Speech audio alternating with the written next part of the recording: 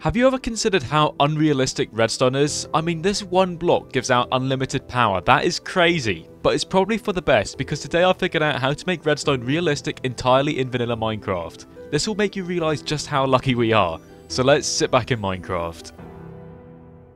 It feels very good to be back here on my creative testing world. I have realized just the sheer power of this one block. I mean, if you think about it, this one block, it can lift up an anvil forever. That's how much power is in this one block. And it even works with a torch as well, and even a lever as well. I mean, I've not even considered how just overpowered this is. This is crazy.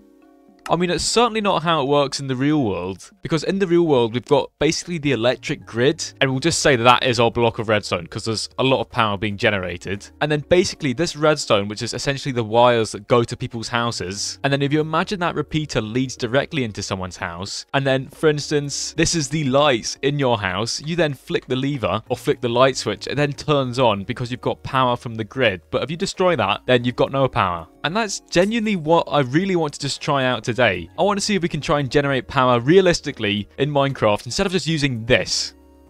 Now there is only one redstone block which is actually realistic and it's the daylight sensor because it's basically just a solar panel which of course we have in the real world. And because it's daytime this is of course getting powered which means we can essentially then do what we do in the real world which is just put it straight into a battery. And so this is basically going to be our electric grid. So there's our daylight sensor and then we have a comparator which is basically reading that. And in fact we'll just have it straight into a repeater like that. And you can actually make a battery in Minecraft really really easily just by using comparators comparators, and you'll see that that's all lit up now. And then if we switch it to night, you'll see that this is going to stay lit up. That looks really cool with Vibrant Visuals. We're, of course, on Bedrock Edition, but look at that. And then this is going to slowly get darker and darker, then it turns off.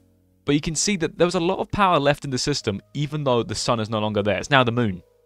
And then, of course, when it's back to day, it then powers up again, which is really cool. And so I'm basically thinking we have a lot of comparators. I'm talking a lot of comparators. I mean, I'm really, I am not the best with redstone. I know some very, very basic things. I just find it very fun to try and come up with ideas and basically just mess around. But this is basically how a battery is in the real world, where you've got loads of little cells which basically just hold the power. And then this will basically get charged up in the day, and then at night time, it will then start to deplete. And I think we'll do one more set of comparators just to really... I have no idea how long this will last for. Probably not even a minute. And so to help us keep track of what's working, I'm going to place some torches, some lamps rather, down there. And then let's change this to nighttime. You can see this is going to start to then run out. And you know what? Whilst we're here, I'm just going to place some lamps on this side as well. And so this one's going to run out first. You can see it's really starting to get dark. And then that's it now out. And then it's going to move to this one. And it's actually lasting a lot longer than I thought, which is really good. And so I think we're looking looking at around 20 seconds per sort of, I think we're just going to call it power cell. I'm not exactly sure.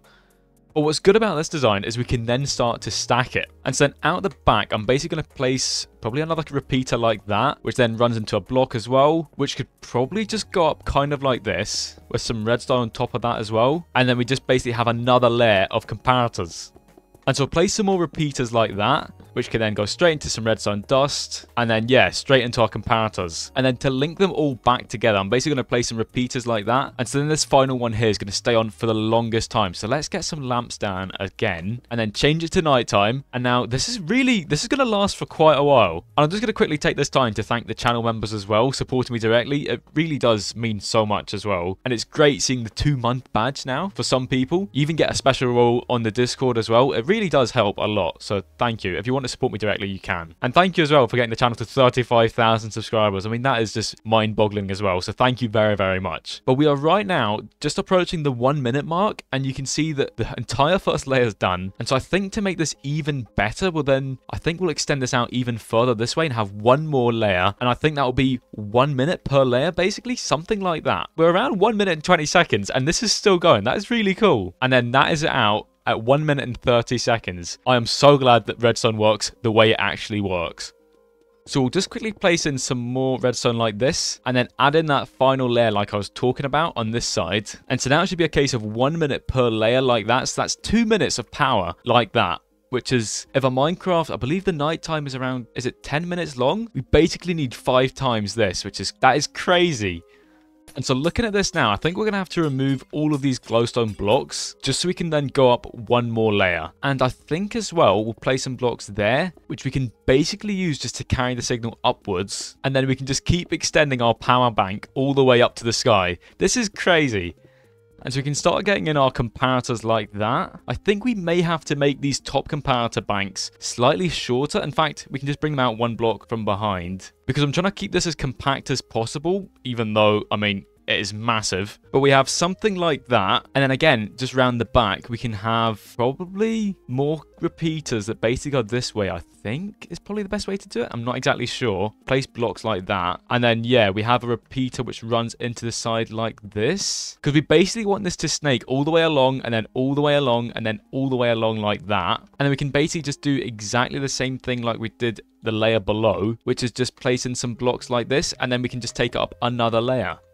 And I think this should work as I'm anticipating. I hope so at least. And you know what? Before we properly test this out, I want to quickly just rework how it's basically put together. And I'm basically going to do that very, very simply. Look at that. That's a big clock. Okay. But I'm basically going to have more repeaters following that zigzag pattern, kind of like this. And then this backside's really going to start to change now. And then on this side, we'll then have repeaters coming out. And so it's basically going to wrap, it's basically going to be exactly what we've got here, but on that other side. And then basically just go up and then power everything on this layer above. I think this is going to be the best way to do it and it will hopefully keep things running for quite a while. And then we basically just do exactly the same on the other side.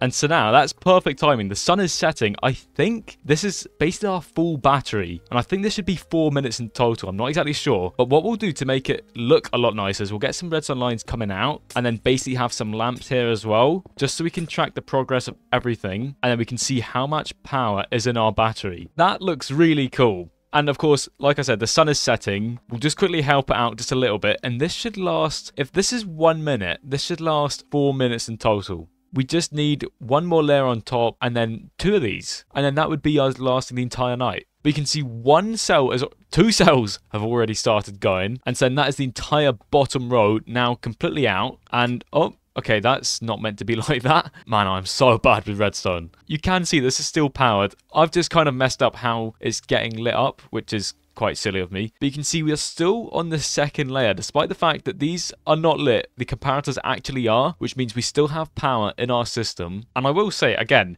this looks really cool with vibrant visuals, just how bright everything is. But this one is just about to go, and then it's going to move on to the final part of the third row. But we are now on the top layer, and it's looking like my calculations are correct. This is around, it's going to be around four minutes, which is perfect. And there we go. That is the final light out, which means we can then start basically turning this into our power grid.